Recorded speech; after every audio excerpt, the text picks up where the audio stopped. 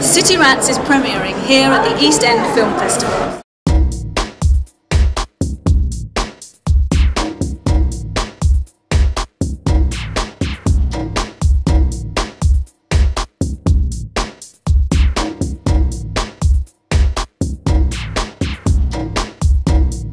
City Rats is directed by Steve Kelly and stars Danny Dyer and Tamer Hassan, who last worked together on Nick Love's the Business.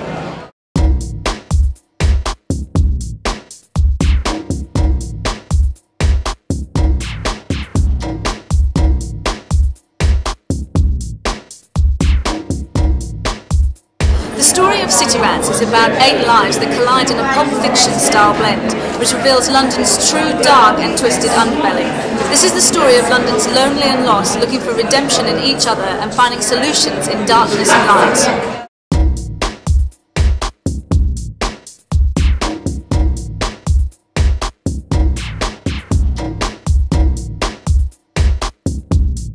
We're going to try and interview some of the stars from City Rats. Why did you decide to do the film? Um, Have you seen it? Not yet. I'm hoping to tonight. Well, uh, for me and Danny, it was um, it was something we had to do. Uh, it was complete. It's completely different to anything anybody knows me for. Everybody knows me as the Playboy or Millwall Fred or Layer Cake in these top lads movies. And when this script come along, it was. Um, I mean, it had no money. It was, it was a micro budget, not low budget. And the script was so good. The writing was good. Steve Kelly, the director, fantastic director.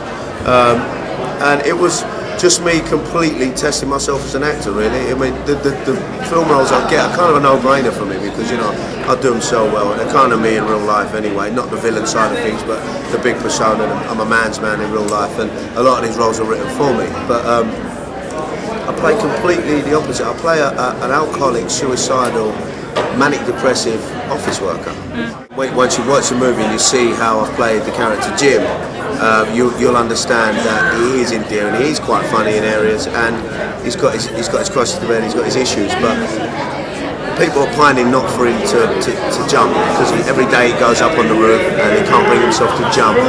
Me and Danny's done another movie called Dead Man Running with 50 Cent, which is another lad's caper. So, you know, hopefully I just want people to go and watch this one, enjoy it, see it for the performances, embrace it, don't take it too seriously, and just see us in a different light. You know? Well, lads of money because there's no money on it. Uh, I just like the idea of playing an alcoholic. I wanted to try and change everything about what I do, my posture, the way I look at people, and also got, gave me a chance to go a bit method. So do you want to work with this guy again? Yeah, we've got a film coming out at the end of the year. Yeah, he said Dead, Dead Man, Money with 50 yeah. Cent. So yeah, we've done four movies together now. It's always great to work with your pals. It's a bonus. So uh, as long as it's quite different what we're doing and our relationship, when in this movie we haven't got any scenes together. Yeah. Not one. You know, so you know, it's, you know, for him it was a major thing because he needs to change what he's doing as well. And they gave us an opportunity to do that. Although we're still both cockneys in it, it's not necessarily about changing your accent. It's just changing about, it's changing, you know, just everything about you. You know, like what I said about posture. three different ways in which to interpret sex in the movie was was very very interesting and that's what kind of began to draw me to it and that's what I think what drew the actors to it is there was a real sense that they themselves could be dangerous in what they did they could actually do something that they're not usually allowed to do and they could try some stuff and as a director I try to do the same thing you don't know you're always going to hit but hey you know sometimes it's nice when you get a project and you don't just have to treat like a classic, let's make everything the way that everyone else does it. So let's try to make something that's different.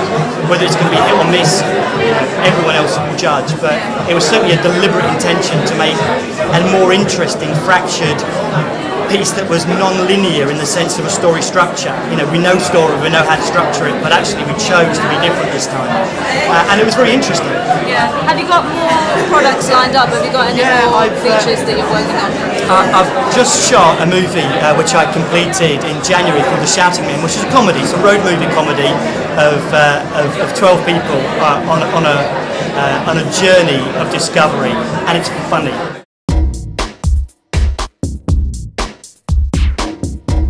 Okay, I just want to know what you thought. George, what did you think of the movie? I I thought it was really fantastic. It was you know a low budget film, but what they managed to do with like the low budget, some great moments there. The, the filming was great. Some really really captured some really powerful moments. Now I was really impressed. Yeah, I mean it had a very funny side as well. It was sort of, sort of a dark comedy, and although you know you left sort of slightly depressed at the same time. You know, you did. It was very funny at the same time, and the actors in it did such a good job. So yeah. Would you recommend the movie? Um, certainly recommend it. Yeah. Very, very tight script. Um, and there's a lot of humour in it. And it's quite film. It's a really fantastic piece of art.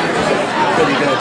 Would you recommend the film Definitely, it was. I thought it was quite original, um, as films today go. It was a very accurate, um, beautifully filmed London. I thought, um, and it was. I think it was about loneliness and uh, what's going on in the cities nowadays. But some beautiful performances and some very talented new actors. I think some of the names are people to look out for. Yeah, we enjoyed the movie. Yeah, it was very Yeah. arty. I liked how many different layers it had to it. It wasn't just obvious like most films are. and it wasn't predictable at all. At all. It was quite deep. I'm quite deep. As much as I look you- like I'm probably not. You I had to quite really deep. think about Yeah, it you had to think about didn't it. We love thinking, don't we?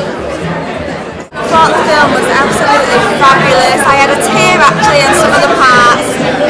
Each and every character in it just really, they just acted so fantastic and it was amazing.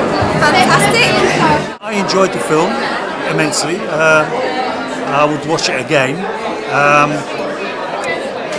I'm short-sighted, and so the graininess of the film hurt my eyes. That's all. And I'm Tina. I'm Candice. I'm Millie.